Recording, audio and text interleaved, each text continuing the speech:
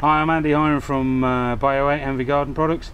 Uh, here today with Terry Walton to talk about a new product we call Chill Out. Chill Out is essentially a biostimulant which alters the way that plants react to high temperatures. What it does is essentially uh, change their natural behaviour to heat stress. What normally happens when a plant gets too hot is that you probably know it wilts and it sheds Yes. its buds and things like that because it can't deal with any aerial growth.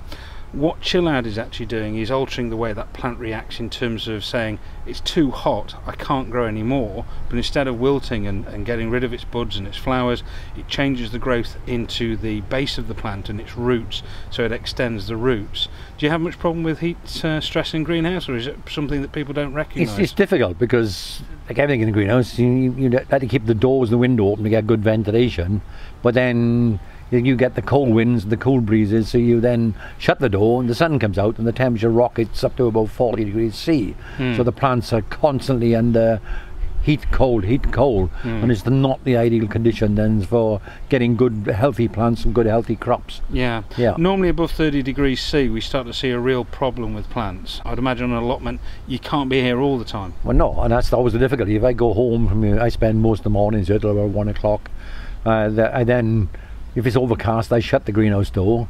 Two o'clock, then the sun comes out, and I think, oh, do I do go back or don't I go back? And it's always this debatable thing. Hmm. Been nice to have that pressure relieved by something like this. It says, I haven't got to worry. They're looking after themselves. Yeah, it's almost like the gardener's assistant that you can actually afford to pay because it's. Uh, Yeah, you can't afford many of them. That would be the perfect solution. And I know then the plants are, you know, it's going to be hot. yeah. And am I going to drive the four or five miles back to here? Mm. Or no, they they'll survive. I've given them their weekly Yeah. dose of chill out, so yeah, they should be fine. Yeah. But it's something again.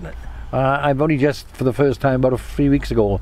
I give the first application in the greenhouse. They've had a second application, but I'm now looking for the heat to make sure they grow and they they thrive on that product. Which are the plants that you tend to find most susceptible to heat stress in the greenhouse? they, they mainly the, the peppers and things of that nature. They they are very very vulnerable. Yeah. And the I got an aubergine in there who loves the heat. Yep. Of course, he then also wilts, and the melon again tends to droop. Tomatoes seem to be able to survive a lot better because they are pretty sturdy looking plants. And we want the heat to ripen them, but the others seem to suffer quite badly in it. Yeah. Well, this particular product was actually tested by the University of Nottingham, and they focus specifically on peppers because they are the most susceptible. Yeah, they are. um, And sort of anywhere from sort of 28 degrees above, uh, you can really see start to see problems. Now, And then the cucumbers, I grow the, the cucumbers in the corners of the greenhouse, in three of my corners. And you can see them on a really warm day, the leaves really droop, and Yeah. the whole plant looks as if, "Ooh, give me a drink. yeah. Yeah. even at lower temperatures, so even when the temperature wasn't up at 30 degrees or above, this was a fantastic biostimulant, and they found that the yields increased by about 25%. But the interesting part was that uh, they also found that the change in flavour, there was a much improved flavour, which was not really expected in the test. That they found that the flavour was there. So not only is it sort of giving good growth and good protection, and what we'd say is dose these on a, a weekly or, a, or a, a fortnightly basis, and you can apply it just by foliar, or you can put it into the spray just to trigger spray. We always say never spray to runoff, Right. uh, because at that stage you're putting too much on. Right. And if you overdose, it's very tempting sometimes to put more on.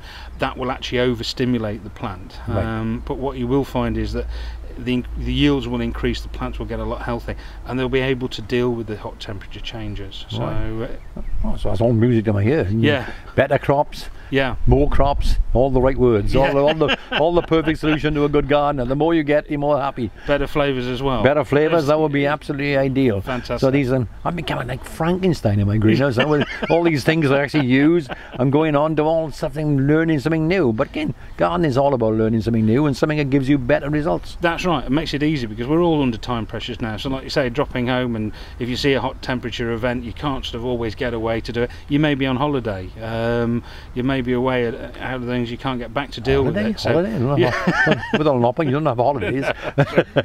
That's impossible. so at least, it yeah, it just gives you some protection. That's yeah, already well, that, there. that'll be another very useful little sort of asset to my armory. yeah. I'm always looking for ways to make things better on the plot and make things easier on the plot.